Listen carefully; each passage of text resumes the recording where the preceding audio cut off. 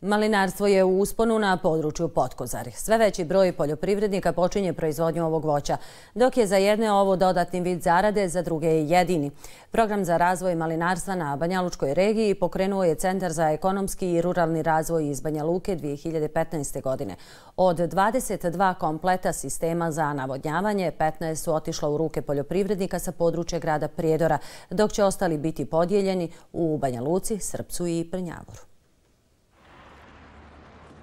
Ljuban Vučkovac ove godine maline je zasadio na tri dunuma. Uz mala penzionerska primanja na ovaj način pokušava da ostvari dodatnu zaradu. Meni je kao penzioner dobro od velikog značaja, pošto ima neku malu penziju. Pa dobro mi dođe. Malinarstvom je počeo da se bavi i Milorad Mamić. Jedan je od 22 poljoprivrednika koji je dobio sistem za navodnjavanje u vrijednosti od 500 maraka. Svi su učestvovali u programu razvoja malinarstva na prostoru Banja Lučke regije, koji finansira švedska organizacija V-Effect. Išli smo na edukaciju u, u, ovaj, u, u Prijedoru Banja Luci, onda smo kasnije išli u posjetu u Bugojna.